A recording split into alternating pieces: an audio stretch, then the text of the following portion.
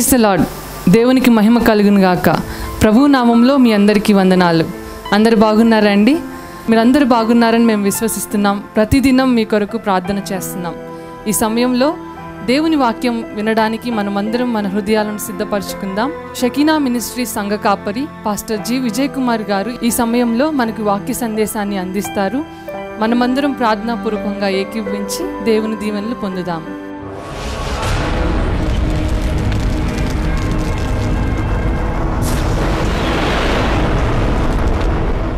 ఈ మాట చెబుతున్నాడు యేసుప్రభు వారు. ఇదేమిటి? నేను వచ్చిందేమో అధికారం కోసం కానీ ఇక్కడ చూస్తేనేమో సేవ చేయాలంటున్నాడు అని అప్పటి నుంచి ఆయన ఏంటంట అధికారం లేకపోతే లేకపోయింది డబ్బులన్నా ఉంటే బాగా మొట్టమొదట ఎంతో నమ్మకంగా పనిచేశాడు. ఎవరు? ఇస్కరియోతు. యోధ ఎందుకని? నేను అంత నమ్మకంగా ఉంటే నాకు మంచి గొప్ప పదవి ఇస్తాడు. ఏమా వింటారా? నాకు మంచి పదవి ఇస్తాడు అని ఎదురు చూశారంట. చూస్తే ఇప్పుడు అది కూడా లేకపోయేసరికి చివరికి ఏమన్నాడంట? నాకు డబ్బులు కావాలి అధికారం పోగతిపోయింది ధనం కావాలి. ఈ లోకంలో ప్రజలందరూ కూడాను ఏం కావాలని కోరుకుంటున్నారంటే ప్రజలందరూ కూడా ఏమేమి కోరుకుంటున్నారు ఈ లోకంలో అంటే గొప్పతనాన్ని కోరుకుంటా ఉన్నారు అధికారమును కోరుకుంటా ఉన్నారు హోదాను కోరుకుంటా ఉన్నారు.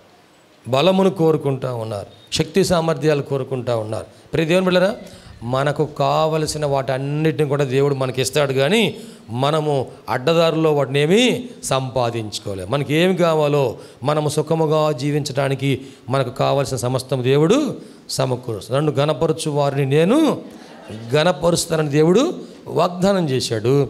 కానీ ఏసయ్య ఇచ్చే అధికారము ఇతను అర్థం చేసుకోవాలా? ఏసఐ ఇచ్చే హోదా ఇతను అర్థం చేసుకోవాలా. ఏసయ్య ఇచ్చే ఆశీర్వాదము ఆధిక్యము ఇతను అర్థం చేసుకోలేదు. ఇతను ఏ ఆలోచనలో ఉన్నా అంటే భూ సంబంధమైన ఆలోచనలోనే ఉన్నాడు. పైనున్న వాటిని వెతకటం లేదు. ప్రేమ దేవుని ఎంతో నమ్మకంగా ఉన్నాడు కనుక మొట్టమొదట యేసు ప్రభు వారు ఏం చేశారంట? డబ్బు సంచి ఎవరికి ఇచ్చారంటండి? ఇస్కరియోతు యోధాకి అప్పగించను. ఇప్పుడు ఇతను నాకు డబ్బు కావాలి డబ్బు కావాలని ఆశపడిన అతను ఏం చేస్తున్నాడు? ఆ కానుకలు యేసుప్రభు వారికి ఎవరు కానుక ఇస్తున్నారో ఆ కానుక అంతా ఎవరికి ఇస్తున్నారు? యేసుప్రభు వారు ఇస్కరియత్ దగ్గర ఇస్తున్నారు ఇస్కరియత్ ఏం చేస్తున్నాడు? ఆ డబ్బు సంచిలో దాన్ని ఉంచుతున్నాడు. మన పన్నెండు మందికి భోజనం తీసుకురండి పోండి అనగానే ఆ డబ్బులు తీసుకెళ్ళి భోజనం చేస్తున్నారు. ఇట్లాగా దేనికి అవసరమైతే దానికి ఖర్చు పెడుతున్నారు. ఈ డబ్బులు ఎవరు మెయింటైన్ చేస్తున్నారా అంటే ఇస్కర్యోతు యూద మెయింటైన్ చేస్తున్నాడు. అతను ఏం చేస్తున్నాడంట? ఆ డబ్బు సంచిలో ఉన్న వాటిని ఈ పన్నెండు మందికి అంటే యేసుప్రభువారితో ఈయన కాకుండా పదకొండు మంది శిష్యులు యేసుప్రభువారు ఈ పన్నెండు మందికి తెలియకుండా ఆ డబ్బు దొంగిలిస్తూ ఉన్నాడంట. డబ్బుని దొంగిలిస్తూ ఉన్నాడంట. ఇంకొక సందర్భం మీకు జ్ఞాపకం చేస్తా యోహాన్ స్వార్త పన్నెండవ అధ్యాయంలో మొదటి వచ్చిన నుంచి చదువుకుందామా కాబట్టి. యేసు. తాను మృతుల్లో నుండి లేపిన. లాజరు ఉన్న బెతనియకు బేతనియకు పస్కా పండుగకు పస్కా పండుగకు ఆరు దినములు ముందుగా వచ్చాను ఆరు దినాలు ముందుగా వచ్చెను అక్కడ వారు. ఆయనకు విందు చేసి ఆయనకు విందు చేసిరి మార్త మార్త ఉపచారము చేసెను ఆ, ఉపచారం చేసింది లాజరు ఆయనతో కూడా ఆయనతో కూడా భోజనమునకు కూర్చుండిన వారిలో ఒకడు అప్పుడు మరియా. మిక్కిలి విలువగల అచ్చ జటామాంసి. అత్తరు ఒక సేరున్నర ఎత్తు తీసుకొని. యేసు పాదములకు పూసి. తల వెంట్రుకలతో తన తల వెంట్రుకలతో ఆయన పాదములు ఆయన. పాదములు తుడిచెను ఇల్లు ఇల్లు ఆ అత్తరు వాసనతో నిండెను అత్తరు వాసనతో నిండెను ఆయన శిష్యులలో ఆయన శిష్యులలో ఒకడు అనగా. ఆయనను అప్పగింపనయ్యున్న. ఇస్కరియేతు యూదా. ఈ అత్తరెందుకు ఈ అత్తరు ఎందుకు మూడు వందల దేనారములకు అమ్మి. మూడు వందల దేనారములకు అమ్మి. అమ్మి. వీధులకు ఇయ్యలేదనెను ఆ బీదలకు ఇవ్వలేదా నేను? వాడు అలాగు చెప్పినది. ఆ. బీదల మీద శ్రద్ధ కలిగి కాదు గాని బీదల మీద శ్రద్ధ కలిగి కాదు గాని వాడు దొంగ అయి ఉండి తన దగ్గర డబ్బు సంచి ఉండినందున అందులో వేయబడినది. అందులో వేయబడినది. దొంగలించుచు వచ్చెను దొంగిలించుచు వచ్చెను గనుక. అలాగు చెప్పెను. అలాగు చెప్పాను. ఇక్కడ గమనించండి అక్కడ యేసుప్రభు వారు ఒక ఇంట్లోనికి వెళ్ళినప్పుడు భోజనానికి ఎంత ఏర్పాటు చేస్తే ఆ టైంలో ఒక ఆమె వచ్చి ఏం చేసిందంట? అత్తర బుడ్డి తీసుకొచ్చి ఎటువంటి అత్తర అంటది మిక్కిలి విలువ కలిగిన అత్తరు అచ్చ జటామాంసి అత్తరు. అంటే ఆ అత్తరు కనుక ఇంతమందిలో ఒక్కరు పూసుకొచ్చినా మందిరం మొత్తం వాసన వచ్చిందంట. అటువంటి అత్తరంటంట అది. ఆ అత్తర్లో కూడా రేట్లు ఉన్నాయలేవా? ఏమండి? రేట్లు ఉన్నాయలేవా? మీరు ఈసారి పెద్ద షాప్కి వెళ్ళినప్పుడు కనుక్కోండి. తీసుకోపోయినా కనుక్కోండి. దీని రేట్ ఎంత దీని రేట్ ఎంత అంటే అప్పుడు ఆ రేటు చెప్తారు. ఆ అత్తరంట మూడు వందల దేనరాలు అమ్మవచ్చంట. ఎవరు చెబుతున్నారు? ఇస్కరియతు కదా ఆ అత్తరు ఆమె అభిషేకించింది. ఎందుకని? ఆమెకి తెలిసింది ఏంటి ఈయనకు తెలియంది ఏంటి ఒకసారి ఆలోచించండి మా వింటున్నారా? అందరు ఇక్కడే ఉన్నారా? దేవునికి స్తోత్రం చేద్దామా? ఆ అత్తరు అంత ఖరీదైన అత్తరు మీరు ఎందుకు ఈయనకి అభిషేకించి దాన్ని వేస్ట్ చేస్తున్నాడు అంటున్నాడు. అతను ఏమంటున్నాడండి మీరు వేస్ట్ చేస్తున్నారు అంటున్నాడు. కానీ ఆమె ఎందుకు పోసిందంటే ఏసయ్య మరణించబోతున్నాడు అనేది ఆమెకు తెలిసింది కనుక ముందుగా అభిషేకించింది. దేవునికి స్తోత్రం. ఆ తర్వాత వచ్చిన చదవండి. ఆ తర్వాత వచ్చినంలో ఆ తర్వాత వచ్చినంలో కాబట్టి యేసు కాబట్టి యేసు నన్ను పాతిపెట్టు దినము ఆ, నన్ను పాతిపెట్టు దినమునకు దినమునకు ఆమెను దీని నుంచుకొని నీయుడి ఆమెను దీనిని ఉంచుకొననీయుడి. వీధులు ఎల్లప్పుడును ఈ బీదలు ఎల్లప్పుడును మీతో కూడా ఉందురు గాని. మీతో కూడా ఉందురు కాని నేను ఎల్లప్పుడూ మీతో నేను ఎల్లప్పుడు మీతో కూడా. ఉండనని చెప్పాను. ఉండను. దేవునికి స్తోత్రం. యేసు ప్రభు వారు ఏమంటున్నారంటే ఇదిగో నేను వెళ్ళిపోయే సమయము ఆసన్నమైంది. వచ్చేసింది టైం. నేను వెళ్ళిపోయే టైము వచ్చేసింది కనుక. బీదలు ఎల్లప్పుడు మీద కూడా ఉంటారు. నిజంగా వాడు ఏం చెప్పింది? బీదల కోసం చెప్పాడా? ఏ ప్రేమ ఉందంట బీదల మీద? కపట ప్రేమ. ఏమండి? బీదల మీద ఏ ప్రేమ ఉందంట? కపట ప్రేమ ఉందంటండి. ఈ బీదలకి సహాయం చేయొచ్చు కదా అంటున్నాడు. మూడు వందల దేనారములు ఇప్పుడు ఆ ఇస్రాయెల్ దేశంలో కరెన్సీ దీనార్స్ దీనారాలు దేనారములు మన ఇండియాలో రూపీస్ రూపాయలు.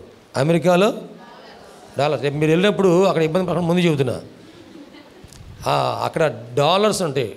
మీరు మర్చిపోయి రూపాయలు తీసుకెళ్ళాలంటే గల్లంత పడి అయిపోయిన వ్యవహారం. ఒక టీ తాగడం కూడా ఇబ్బంది పడతాం. ఒక టీ తాగాలంటే ఒక ఎనిమిది డాలర్లు తొమ్మిది డాలర్ ఖర్చు పెట్టాలి. మంచి టీ తాగాలంటే. ఒక్కొక్క డాలరు ఎన్ని రూపాయలు ఇప్పుడు? దాదాపు ఎనభై రూపాయలకి వచ్చేసింది. దాదాపు ఎనభై రూపాయలకి వచ్చింది. ఒక టీ మనకి ఇక్కడ ఎంత ఉండేది ఎంత ఉండేది టీ? మీరు తాగే టీ? మీరు పన్నెండు రూపాయలకు వచ్చారా? ఒకప్పుడు ఐదు రూపాయలు టీ తాగాం కదండి. ఐదు రూపాయలు పది రూపాయలు అయింది. పది రూపాయలు పన్నెండు రూపాయలు అయింది. మొన్న అయ్యగారిని ఎయిర్పోర్ట్లో దించడానికి వెళ్తే అక్కడ అయ్యగారు టీ తాగుదాం అంటే మేము టీ తీసుకుంటే ఎయిర్పోర్ట్లో టీ ఒక టీ ఎంత ఉందో తెలుసా? ఒక టీ అరవై రూపాయలు. ఎయిర్పోర్ట్లో ఒక టీ అరవై రూపాయలు. విమానంలో కాదు కిందే. ఎయిర్పోర్ట్లో ఇంక లోపలికి వెళ్ళా. అరవై రూపాయలు ఒక టీ. అదేమన్నా ఇంకేమన్నా దాంట్లో ఏమైనా పోసారా? అంటే ఏం లేదు మామూలు టీయే. ఉన్న దాంట్లో కొంచెం పాలు ఎక్కువ పోసి చేశారంతే. మన ఇంట్లో పెట్టుకునేదంటే ఇక్కడ ఈమె ఒక్క దేనారం నూట యాభై రూపాయలకి సమానమని కింద ఫుట్ నోట్లు రాసింది. గమనించారా? ఫుట్ నోట్లు ఏం రాసిందండి? ఇది ఇంచుమించు ఒక దేనారం అంటే ఇంచుమించు నూట యాభై రూపాయలు నూట యాభై రూపాయలు. మరి మూడు వందల దేనారాలంటే ఆ, పదిహేను మూడు నలభై ఐదు నాలుగు వేల ఐదు వందలు. లెక్కండి. కదా? ఇన్ని రూపాయలకి ఎందుకు మీరు అమ్మలేదు? ఆ డబ్బులతో మీరు పేదవారికి సహాయం చేయొచ్చు కదా అని ఇస్కరియోతు యద అడుగుతా ఉన్నాడు. జాగ్రత్త. ప్రేమైన దేవుని బిళ్ళరా ఇక్కడ ఇస్కరియోతు యద బీదల మీద ప్రేమ ఉండి కాదు కానీ ఇంత డబ్బులు ప్రభు కోసం ఎందుకు ఖర్చు పెట్టాలి అని అడుగుతున్నారు. ఈ రోజున కూడా శరీర సంబంధమైన మనసు కలిగిన వారికి ఈ ఆలోచన వస్తూ ఉంటుంది. దేవునికి ఈ పని కోసం ఉపయోగిద్దాము అని అంటే శరీర సంబంధమైన మనసు కలిగిన వారు భార్య భర్త ఇద్దరు చర్చికి వస్తారనుకోండి. ఒకరేమో ఆత్మ సంబంధమైన మనసు ఒకరేమో శరీర సంబంధమైన మనసు కలిగినప్పుడు భార్య ఏమంటుందంటే ఇదిగో ఈ అత్తరు దేవుని కోసం ఉపయోగిద్దాము అంటే భర్త ఏమంటాడు ఇంత ఖర్చు దానికి ఎందుకు? కదండి ఇక దైవజనులు వచ్చారు. ఇంత కొంచెం కానుకిద్దాం మనం అంటే ఇంత ఖర్చు అవసరమా? భర్త ఏమంటాడంటే ఇంత ఖర్చు అవసరమా? మరి ఆమె ఎందుకు ఇచ్చింది? ప్రభు అంటున్నారు ఈమె నా విషయమై ఒక మంచి కార్యము చేసింది. దేవునికి స్తోత్రం చేద్దామా? హలెలుయా హలెలుయా ఈమె నా విషయమై ఒక మంచి కార్యము చేసింది. ఈ సువార్త ఈ భూమి అందంతటా ఎక్కడెక్కడ ప్రకటించబడునో అక్కడక్కడ ఈమె కార్యములు ప్రశంసించబడును. దేవునికి మహిమ కలుగునుగాక. హలెలుయా ఈ కార్యము నువ్వు చేసే కార్యము ప్రభు అంటున్నారు ఇదిగో ఈ భూలోకం అంతా కూడా ప్రశంసించబడుతుంది. ఇస్కర్యోతు యుధ గురించి మనం ప్రశంసించుకోవటం లేదు కానీ ఇస్కర్యోతు యుధ తప్పు చేశాడని చెప్పేసి ఇస్కర్యోతు యుధ పాపం చేశాడని చెప్పి ఇస్కర్యోతు యుధ దేవుని చిత్తాన్ని నెరవేర్చలేదని చెప్పుకుంటున్నాం. కానీ ఈమె దేవుని చిత్తాన్ని నెరవేర్చింది. ఈమె చాలా త్యాగము చేసింది. ఈమె మంచి కార్యము చేసింది. మనం చేసే కార్యాలు మంచి కార్యాలా? దేవునికి ఇష్టమైనవా కావా? ఆలోచన చేయండి. మీరు దేవుని పరిచర్య కోసం దేవుని కోసం ఒక చిన్న పని చేసినా సరే దానికి ప్రతిఫలం తప్పనిసరిగా పొందుకుంటారు. దేవునికి స్తోత్రం. హలెలుయా నా నామమున గిన్నెడు చన్నీళ్ళు ఇచ్చినా మీరు దాని ప్రతిఫలము పొందుకుంటారు.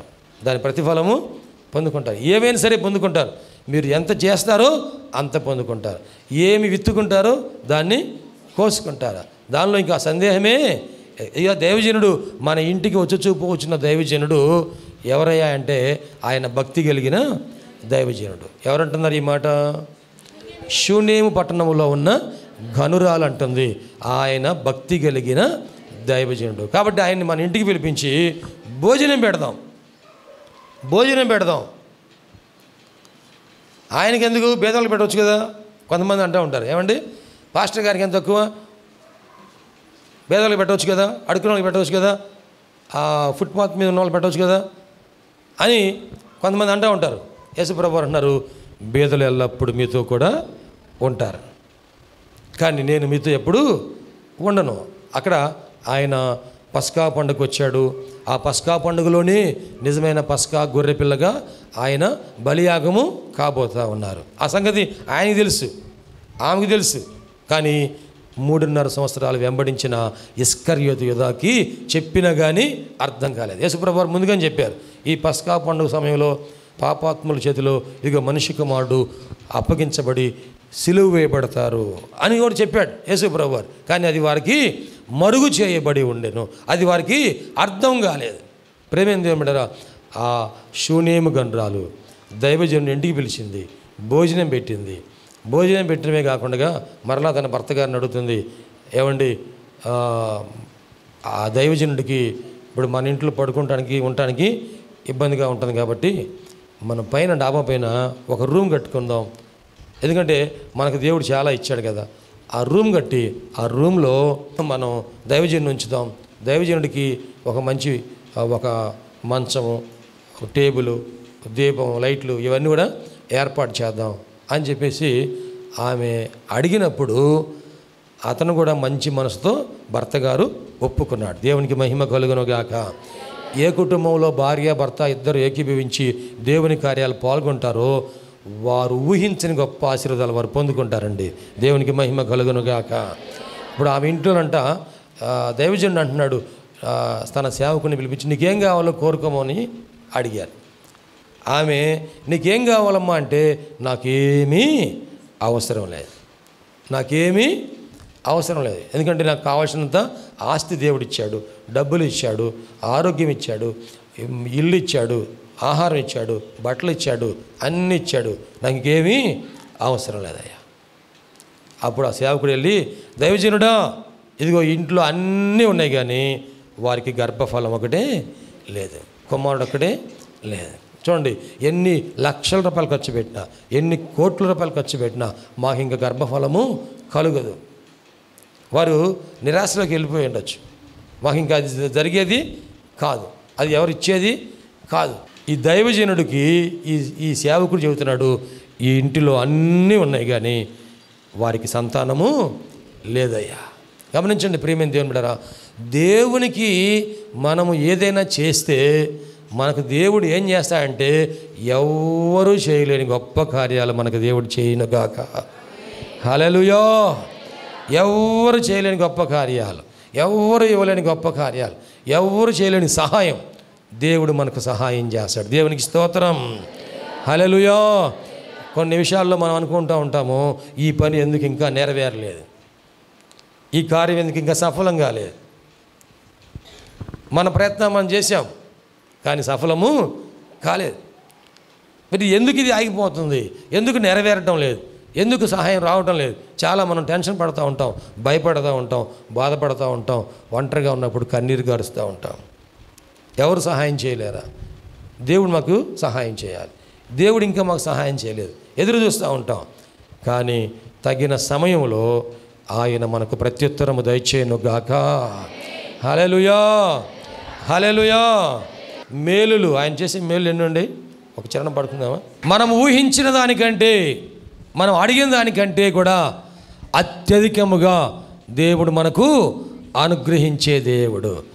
అక్కడ ఒక వ్యక్తి యేసు ప్రభు వారిని భోజనానికి పిలిచాడు. ఆ ఇంటిలో ఆమె వచ్చి అత్తరుతో ఆయన పాదాలు తుడిచిందంట. ఆయన పాదాలు అత్తరుతో ఆమె శుద్ధీకరించిందంట. ఆమె ఎప్పుడైతే తన తల వెంట్రుకలతో తుడిచిందో వెంటనే యేసు ప్రభు వారి శిష్యుల్లో ఇస్కరియోతు యూద అలాగే కొంతమంది శిష్యులు కూడా అడిగారంట.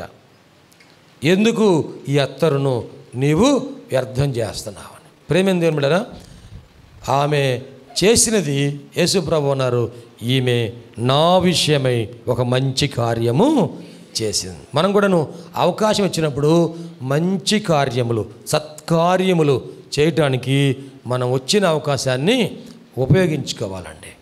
ఏసీ అక్కడికి వచ్చాడు. ఆ రోజు బేతనే గ్రామానికి వచ్చేవాడు కాదు. వచ్చినప్పుడు వినియోగించుకోవాలి. చేయగలిగింది మనం చేయాలి.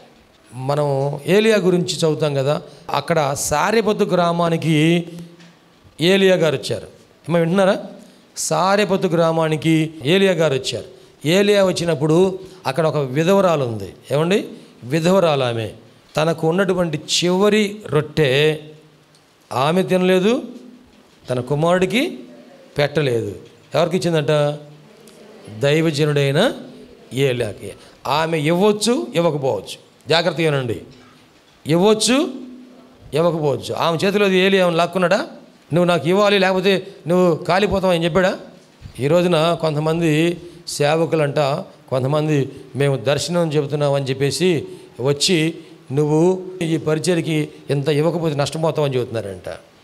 అటువంటి మాటలు నమ్మబాకండి అమ్మా సైన్యములకు అధిపతిగా యహోవా సెలవిచ్చినది ఏమనగా ఈ రాబోవు కరువు కాలమంతా కూడా దేవుడు నిన్ను పోషిస్తాడు. నా కొరకు కొంచెం మంచినీళ్ళు పట్టురమ్మా. మంచినీళ్ళ కోసం వెళ్తుంటే ఒక అప్పం కూడా తీసుకురామ్మా. నలభై రోజులు ప్రయాణం చేసి వస్తాను. ఇదిగో నాకు అప్పం కూడాను ఒకటి తీసుకురమ్మా అంటే దేవుడు చెప్పిన మాట ఆమె నమ్మింది.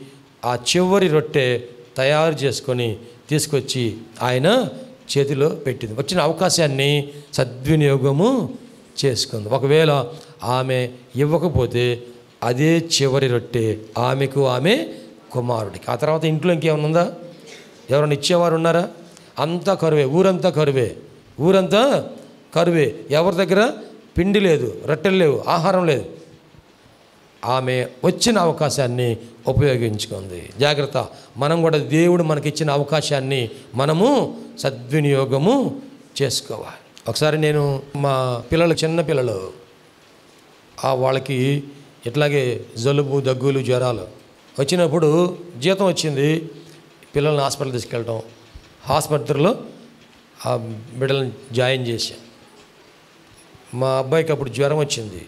హాస్పిటల్లో తీసుకెళ్ళి జాయిన్ చేస్తే రోజు జ్వరం వస్తుంది. ఇంజక్షన్లు చేస్తున్నారు సెలైన్ పెడుతున్నారు. తగ్గలేదు.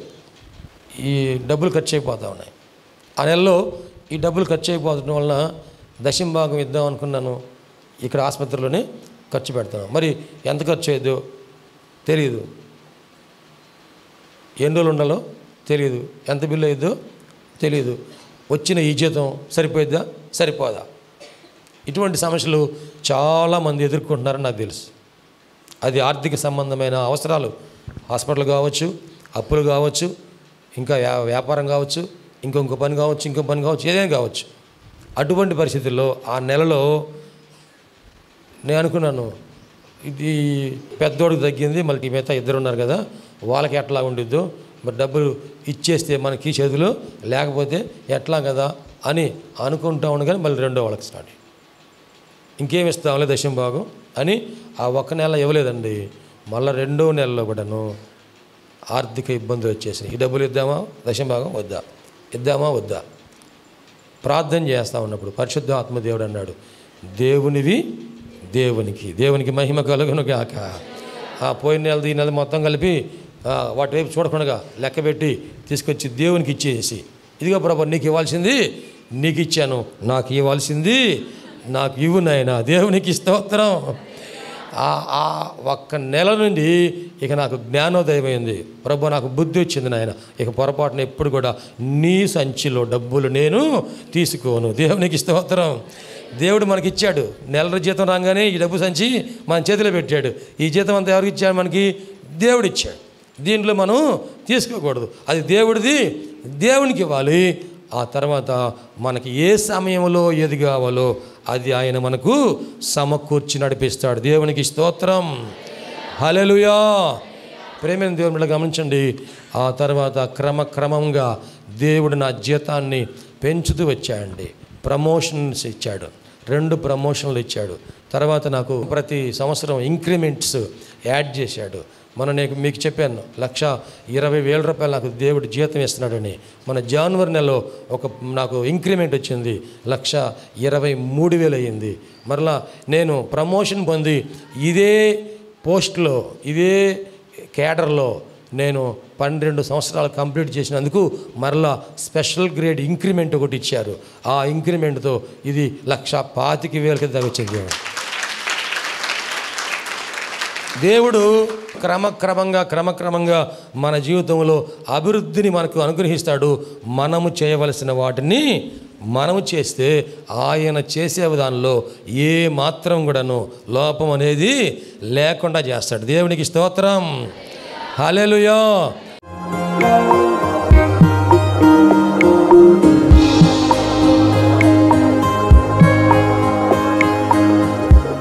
ప్రభునందు ప్రియ దేవుని బిడ్డారా ఎంతవరకు దేవుని వాక్యం విన్నందులకు ప్రభునామన్న వందనాలు తెలియజేస్తున్నాం. మనం అందరం ప్రార్థనలో ఏకీపిద్దాం తలలో మంచి కనుల మెసుకొని ప్రార్థనలో ఏకీపిద్దామండి ప్రార్థించుకుందాం. మహోన్నతుడైన దేవ పరిశుద్ధుడైన మా ప్రభువ నీ పరిశుద్ధమైన పాదములకు వందనాలు. ఇదిగో నాయన ఈ వాక్యము ద్వారా నాతో మాతో మీరు మాట్లాడినందుకు వందనాలు ప్రభా. అవును నువ్వు సజీవుడైన దేవుడు అయ్యా మాట్లాడే దేవుడవు ప్రభా. ఈ వాక్యం మా హృదయంలో పదిలిపరచుకున్నట్టు సహాయం చేయండి. సంపూర్ణమైన మారు మనసు మాకు దయచేయండి పాప క్షమాపణ అనుభవం మాకు దయచేయండి రక్షణ ఆనందం మాకు దయచేయండి ప్రభువా ఈ అనారోగ్యములు బలహీనతలు సమస్యలు శోధనలు సైతాను ఆటంకాలు అన్నీ కూడా యేసుక్రీస్తు నామంలో తొలగించండి నాయన. పరిశుద్ధాత్మదేవ మీ కార్యం జరిగించండి అయ్యా. మీరు మాకు తోడుగా ఉండి దీవించండి. మమ్మల్ని మా కుటుంబం జ్ఞాపకం చేసుకోండి మా బిడ్డలు మీరు ఆశీర్వదించండి. ప్రభా మా కుటుంబంలో రక్షణ ఆనందం సంపూర్ణంగా దయచేయండి. ఎటువంటి అవసరాలని మీకు తెలుసునైనా ప్రతి అవసరతలో కూడా మాకు సహాయం దయచేయండి. అన్ని విషయాలు కూడా మీరు దీవించండి. టీవీ ప్రోగ్రాం చూసిన ప్రతి ఒక్కరిని పేరు పేరు వరుసన మీరు దీవించి రక్షించి మీరు అక్కడ సిద్ధపరచండి. మంచి భవిష్యత్తును వారికి దయచేసి మీ కృపలో మీరు వర్ధలు చేయమని నీకే సమర్పణ చేసుకుంటూ ఏసయ్య పరిశుద్ధ నామంలో స్థుతించి ప్రార్థించి వేడుకుంటున్నాము తండ్రి. ఆమెన్. తండ్రి కుమార పరిశుద్ధాత్మ త్రేక దేవుని దీవెన తోడుగా నడిపించను గాక ఆమెన్ ఆమెన్ ఆమెన్. మీ అందరికీ ప్రభునామన వందనాలు. దేవుడు మిమ్మల్ని దీవించను గాక. ఆమె ప్రభునందు ప్రేమైన సహోదరి సహోదరులందరికీ షకీనా ప్రార్థనా మందిరం తరపున హృదయపూర్వక వందనాలు తెలియజేస్తున్నాం దేవుని కృప వలన రెండు వేల పన్నెండవ సంవత్సరంలో మూడు వందల యాభై గజముల స్థలంలో ఈ మందిరం నిర్మించుకోవడానికి ప్రభు కృపించారు రెండు వేల పదహారవ సంవత్సరంలో నూతన స్థలం నూట ఎనభై గజముల స్థలం తీసుకోవడానికి ప్రభు సహాయం చేశారు. ఈ సమయంలో ఈ స్థలమంతట్లో కూడాను మందిరం నిర్మించుకోవడానికి ప్రభు ఏర్పాటు చేసి ఉన్నారు. కనుక ఈ మందిర నిర్మాణం పాత మందిరం తీసివేసి నూతన మందిర నిర్మాణం కార్యక్రమం ప్రారంభించబడింది. దయచేసి ఈ మందిర నిర్మాణం కొరకు మీరు అందరూ ప్రార్థన చేయాలని ప్రేరేపించబడిన వారందరూ కూడాను ఈ మందిర నిర్మాణంలో నూట ఆరు అడుగుల పొడవు నలభై ఐదు అడుగుల వెడల్పు కలిగిన ఈ స్థలం అంతట్లో మందిర నిర్మాణం స్లాబ్ వేయటం జరుగుతుంది. కనుక దయచేసి ప్రేరేపించబడిన వారందరూ కూడా మీ ఆర్థిక సహాయ సహకారాలు అందించి ప్రార్థించి మీరు దీవించబడాలని ప్రభునామన మనవి చేస్తున్నాం. ఈ స్క్రీన్ మీద చూపించబడుతున్న నంబర్కు మీరు ఫోన్పే కానీ గూగుల్ పే కానీ లేక మా అకౌంట్ నంబర్కి మీరు కాను పంపించి సహాయం చేయాల్సిందిగా కోరుతున్నాం. లేక మీరు ప్రత్యక్షంగా వచ్చి ఈ మందిర నిర్మాణ కార్యక్రమాన్ని చూసి మీరు కానుక అందించి దీవించబడాలని ప్రభునామన మనం చేస్తాం. ప్రభు మనందరికి తోడుగా ఉండి ఆశీర్వదించును గాక. ఆమె షకీనా ప్రార్థన మందిరంలో ఆదివారపు ఆరాధనకు మా ఆహ్వానం. అనారోగ్యంతో బాధపడుచున్నారా? దురాత్మలతో పీడింపబడుచున్నారా? పాపపు అలవాట్లు మానలేకపోతున్నారా కుటుంబ సమస్యలతో కుంగిపోచున్నారా? భవిష్యత్తు గురించి భయపడుచున్నారా? షకీనా ప్రార్థనా మందిరానికి ఇదే మా ఆహ్వానం. రక్షణానందం పొందడానికి ఆరోగ్యము ఆశీర్వాదం పొందడానికి పరిశుద్ధాత్మ అభిషేకం పొందడానికి ప్రభు రాకడ కొరకు సిద్ధపడుటకు ఆదివారం ఉదయం ఏడున్నర గంటలకు జరుగు ఆరాధనకు అందరికీ ఇదే మా ప్రేమపూర్వక ఆహ్వానం. షకీనా మెలోడీస్ అను మా పాట డివిడీలు సీడీలు మరియు పాటల పుస్తకములు మా యొద్ద లభించింది మరియు గుంటూరులోని ప్రబోధ బుక్స్టాల్ నందు మీకు లభించింది ఈ సందేశం మీకు ఆశీర్వాదకరంగా ఉందని నమ్ముచున్నాం మీ ప్రార్థన అవసరతలకు మరియు మరిన్ని వివరములకు సంప్రదించవలసిన మా address pastor G Vijay Kumar గారు షకీనా ప్రార్థనా మందిరం శారదా కాలనీ ముప్పై రెండవ లైన్ గుంటూరు. మా phone numbers double nine six three two four two four nine seven మరి యొక్క number triple eight double five three nine triple seven